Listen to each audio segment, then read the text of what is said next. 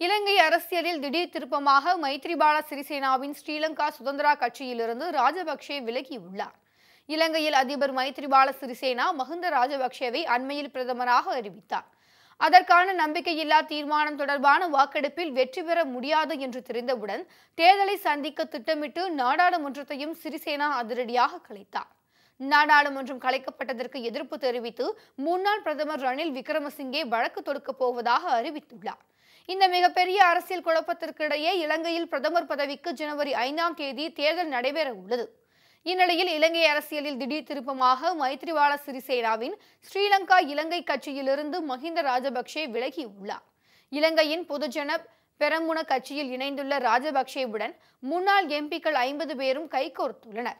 இந்த கட்சி கடந்த உள்ளாட்சி தேர்தலில் அதிக இடங்களை வென்றது. இதனால் மைத்ரிபால சிறிசேனா தலைமையிலான சுதந்திரா கட்சிக்கு பெரும் பின்னடைவு ஏற்பட்டுள்ளது. இலங்கையின் முன்னாள் அதிபரும் தற்போதைய பிரதமருமான மஹிந்த ராஜபக்சே ஸ்ரீலங்கா சுதந்திரா கட்சியின் முன்னாள் தலைவர் என்பதுடன் அந்த கட்சியின் ஆலோசகர்களில் ஒருவராகவும் இருந்து வந்தார் என்பது குறிப்பிடத்தக்கது.